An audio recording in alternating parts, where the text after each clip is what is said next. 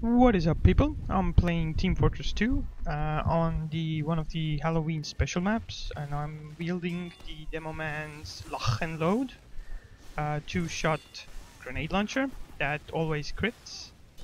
I also have this katana equipped um, which is called um, the half Zatoi Zatoichi something which is nice. Um, also wearing the proof purchase hat I also got the um, Monaco, whatever the boss here is, uh, hat that's just an eye basically. Uh, that's really cool. The eye moves in its socket and it looks cool from the back and you'll see him, he's the boss here as well. You get to take him down. It's a lot of fun. Basically it's like you have to choose uh, whether to shoot the boss or or your enemies. Oh and I got a really lucky crit kill here, like three kills. Uh, that was just amazing. Um, feels really good that's why I love the Loch-n-Load because um, when you get those kills it's gonna be special. Uh, you gotta be really accurate though and have to lead on for the targets. Um, oh yeah, and here you see the boss, the monocro, mono, monoculus, yeah.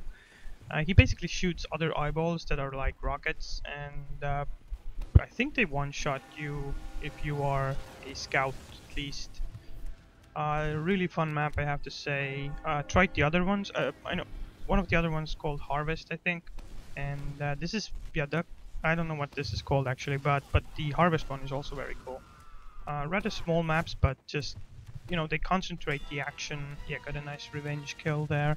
Um, concentrate the action uh, on one command point, and I think I really think this is uh, this is great. Nice, took down that sentry gun position there mm, on the upper balcony type type of thing there. Um, we're actually doing quite well here. Uh, not really controlling the con uh, command point here all that much, but um, yeah, I was just out for the kills right now. Wanted to get some frags because uh, shooting people with this lock and load is really much a lot of fun. I got the Halloween. If you haven't logged in during Halloween yet, do it because you get the Halloween bag of goodies or stuff, which has random loot in it.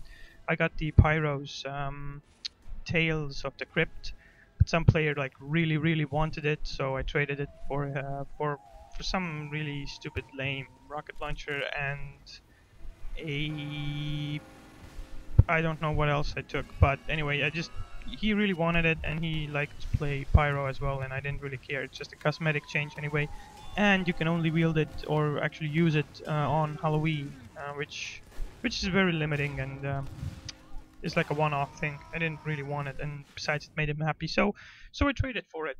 Um, it was a good idea, I think.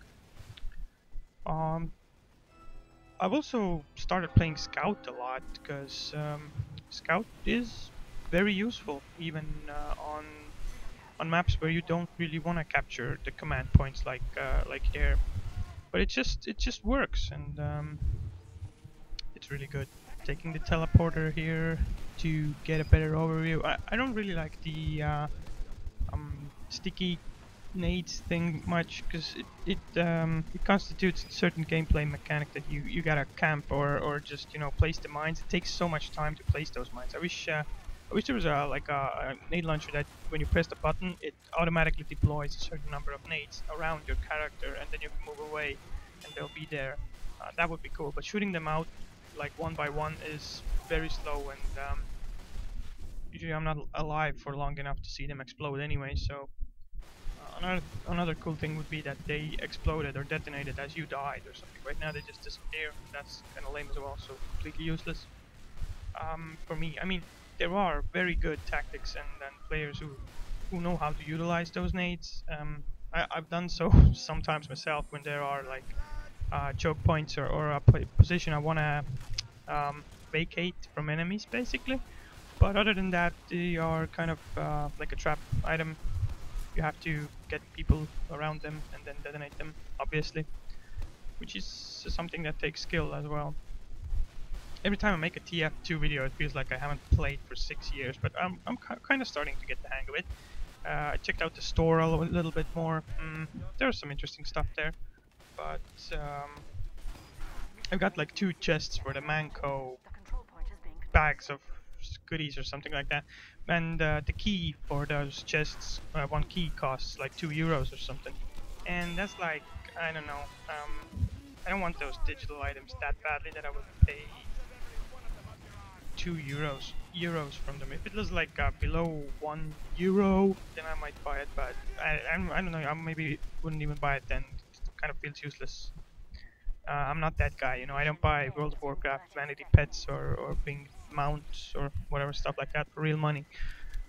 Uh, anyway, I see very good potential there. You know, people do want to buy those things, and uh, yeah, Valve now allows people to create their own items or submit ideas at least.